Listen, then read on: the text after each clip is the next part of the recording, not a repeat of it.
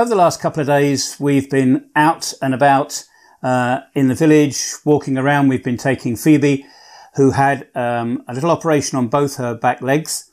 We've been taking her out to get her some more exercise.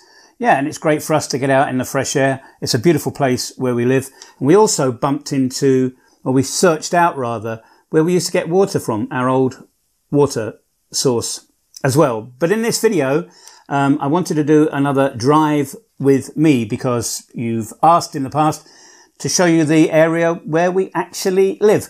Now, um, some time ago, I put uh, a drive with me video driving through the centre of Banja Luka.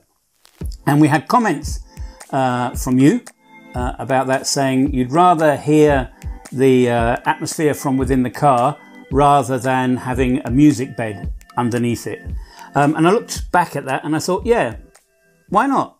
So uh, we normally drive across the Banana Bridge uh, from the main road to get into the village. You can check out lots of our videos uh, in the past that show the Banana Bridge.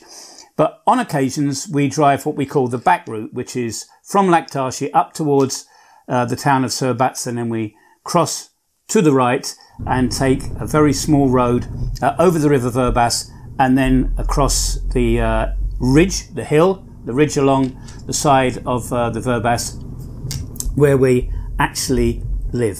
So that's what we're doing today, and I hope you enjoy that. And if you have any comments about whether you like music underneath our Drive With Me videos or not, please leave them uh, in the comments below. And if you could watch uh, the video to the end, that would be great because it really helps with the algorithm.